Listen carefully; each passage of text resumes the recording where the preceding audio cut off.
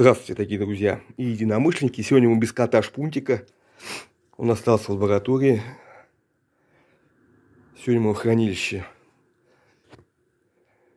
Как это назвать? Велопоезда.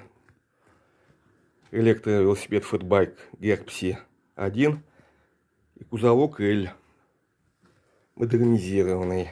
Очередная часть по прицепу. Прицеп покупной. Единственное, чего сцепка переделана. Это уже другой вариант. Короче, э, покупные э, прицепы делятся два вида крепления. Такой типа дышл, типа серпа. Вот за эту гайку цепляется. Тут такой серп, грубо говоря, полукруг.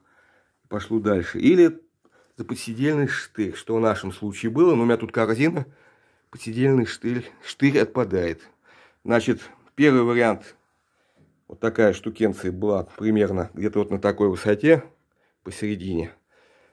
На ровной дороге ничего, на ухабах начинает влево-вправо кидать. Значит, узел сцепки должен быть на одной оси с осью тягача. Тут почти, почти на одной оси. Значит, рулевой наконечник Нивы. У него очень маленький ход влево-вправо. Помните, с предыдущего видео по прицепу можете посмотреть. Плейлист есть. Вверх-вниз он достаточно у него ход. А вот влево-вправо там градусов сейчас получится показать. Вот, всего ничего. Теоретически, не дай бог, бог, конечно, если прицеп, ой, если лесопед лежит на боку, прицеп должен стоять обеими колесами на горизонтальной поверхности. Так что пришлось в целях, так сказать, безопасности поставить два двухрядных шарика подшипника, раз, два, и еще один упорный. Там затянуто гайкой и зашплинтовано. Теперь оно имеет круговое вращение.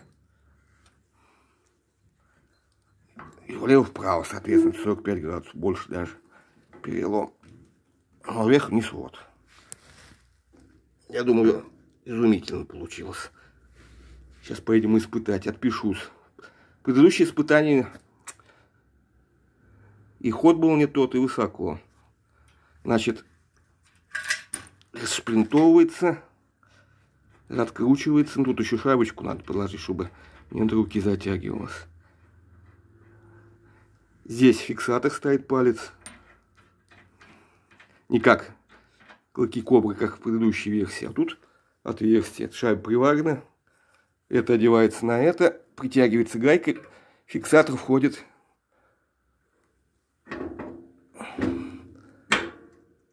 Сейчас я подножки только сниму. Так вот, все от руки затянулось. Шплинт встал в отверстие. Теперь эта часть неподвижна, а все вращение у нас происходит на рулевом наконечнике. Вверх-вниз, слева-вправо, вокруг своей оси, вот на этом узле.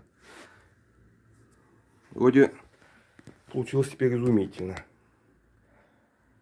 Телега теперь у нас горизонтально, хотя тут еще отрегулировать можно чуть повыше сделать. Значит, еще ручка вот эта под вопросом.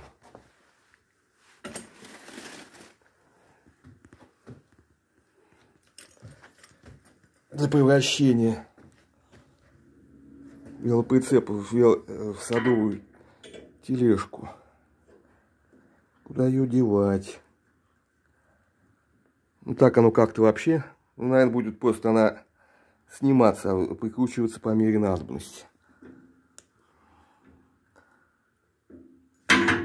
Когда что-то надо провести вне велосипеда, ну вот вполне достаточно высота, это как-то будет так. Но мы ее велосипедной версии открутим и где-нибудь здесь местечко примострячим.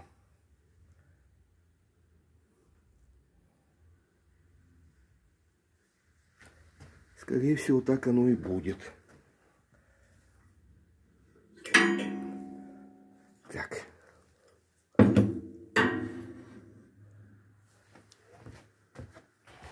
Вот. Сейчас я тягач маленько стащу. Это у нас вот задняя часть. Фаркоп.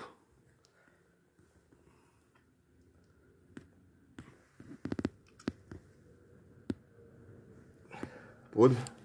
Значит, поворотники будут такие же, как на тягаче. Вот здесь. Как-то вот так. Внизу вот этот катафот будет. А стоп-сигнал с габаритом мы видали.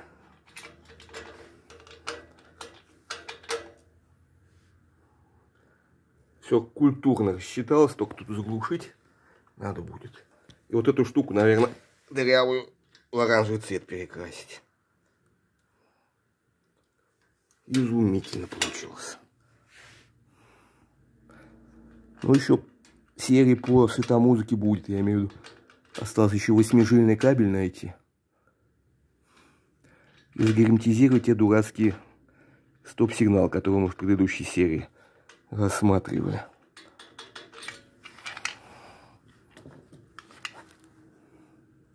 Ну, в общем, как-то так. Дела движутся, хотя уже через 30 через 45 дней выпадет снег.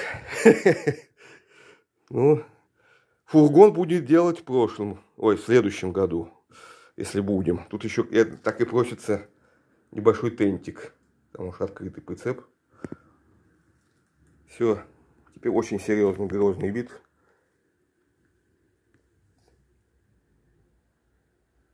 Ну, в общем, как-то так. Продолжение следует. До новых встреч.